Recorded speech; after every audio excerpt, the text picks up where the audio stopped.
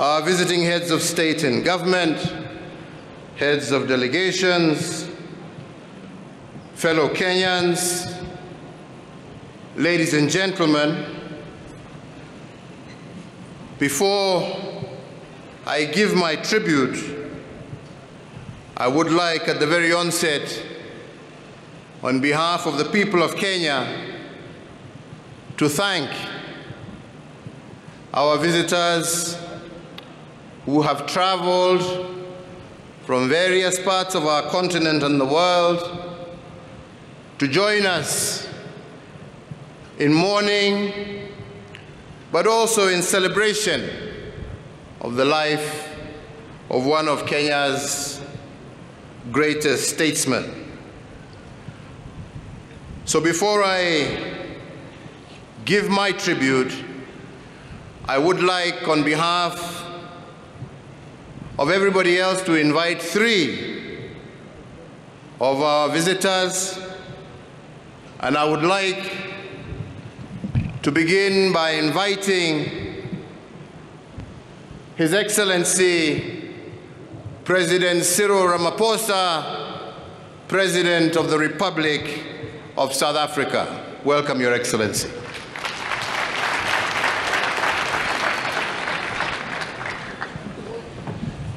Your Excellency, President Uhuru Kenyatta, President of the Republic of Kenya, and the First Lady, Your Excellency, Deputy President William Ruto, the Deputy President of the Republic of Kenya, heads of states who are here present, as well as those who are representing a number of countries that are represented here. The leadership of the clergy and various leaders of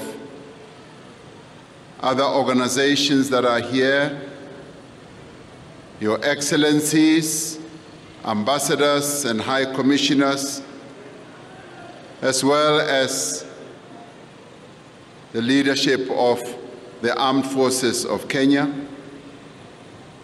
and fellow mourners and fellow Kenyans.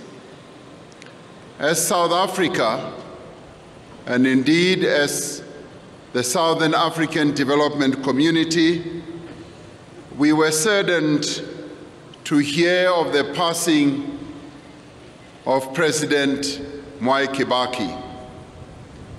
The news of his passing touched our hearts, and our hearts and condolences were extended to you as Kenyans. We are here to extend and pay respects and our condolences to all of you as Kenyans, and especially to President Uhuru Kenyatta, and indeed, as well as the Kibaki family. We feel the pain and anguish that you are all going through, but at the same time, we also believe that you are all collectively here to celebrate a life of a great statesman.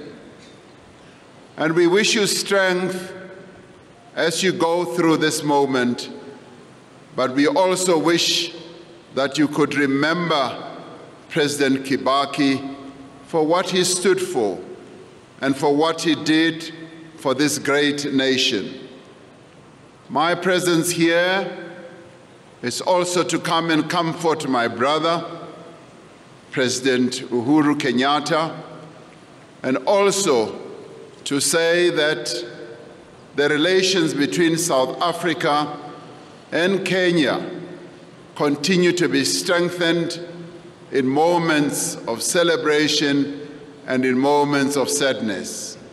And I want to thank you, President, for having extended your own condolences to us as South Africans as we recently lost more than 435 people in the floods that engulfed our country.